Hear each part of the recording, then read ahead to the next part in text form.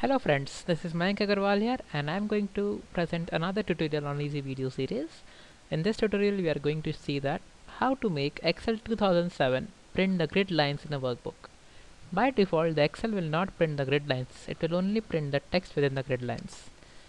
Let's come to directly to the point. See I have a sample Excel file and if I click on print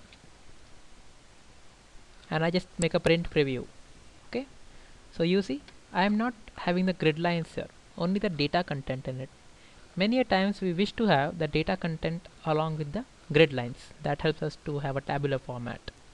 To do that just come to the page layout option on the ribbon and click this arrow.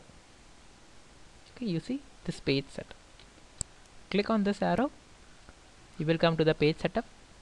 Now come to the sheet option here you tick the grid lines. Okay? Now if you check the print preview of it okay I don't have a printer here but now you see the grid lines have actually come.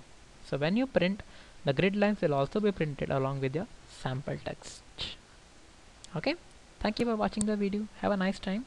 To disable it you can just go to the same option under page layout. Click this. Come on sheet and untick grid lines. Now if you see the print preview no grid lines. Okay? Thank you for watching the video. Have a nice time. Please subscribe